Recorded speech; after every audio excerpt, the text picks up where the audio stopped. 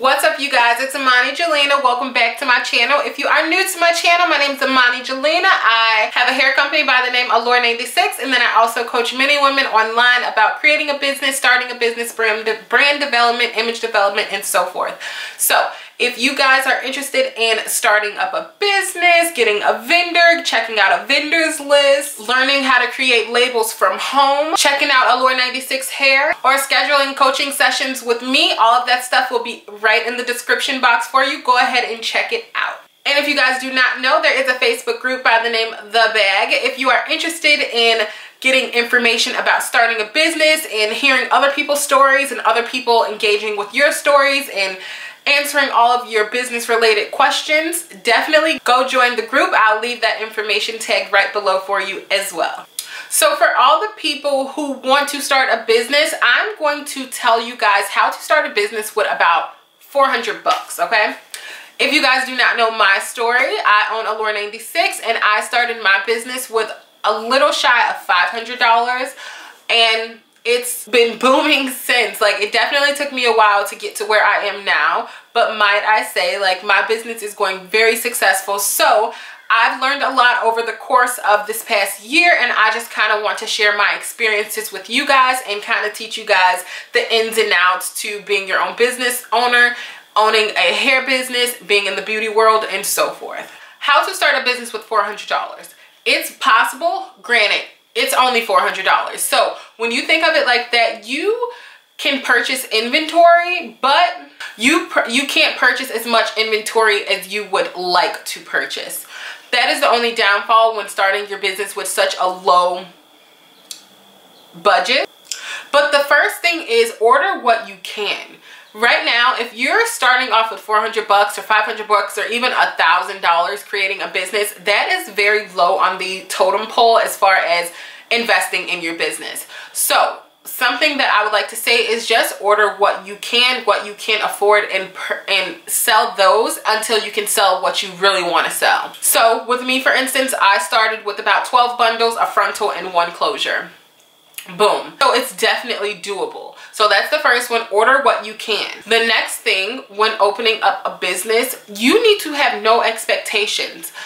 A lot of the time when people expect a certain outcome with their business and they don't necessarily meet those expectations, they kind of sink and then they plummet and then they don't want the business and then they move on to their next. When owning a business, in the beginning, don't give yourself any expectations. Instead of trying to get purchases, definitely hold off on that and focus on getting people to your social media sites at first and then focus on getting people to your website and then focus on getting people to click on certain stuff on your website. It's about the income don't get me wrong but when you're focusing solely on the income you're going to miss out on a lot of your other blessings and a lot of the other potential customers that you can get.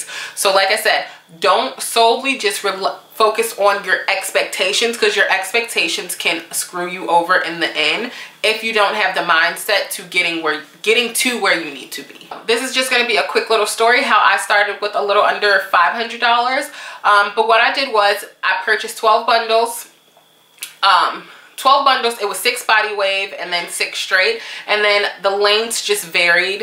Um i believe i got one like 14 16 18 20 22 24 and then i did the same thing with the straight texture as well. That is ultimately how i personally did it and then what i did was as soon and then as soon as i received those bundles that's when i went ahead and started to promote myself. And when i started to promote myself i was just doing it through snapchat. I just had like all the bundles laying um, on the table and I was just like, hey, if you need hair, hit me up and so forth. That is how I personally did it and that is a route that you can do it as well. But if you want to be a little more professional with the launch of everything, I definitely recommend having everything via browser or via online or website however you want to call whatever you want to call it and then that kind of takes me into the next tip that i'm going to give you guys would be order as you go. So let's say for some reason you ordered 12 bundles and three out of those 12 bundles are gone and someone else wants a length that you don't have anymore.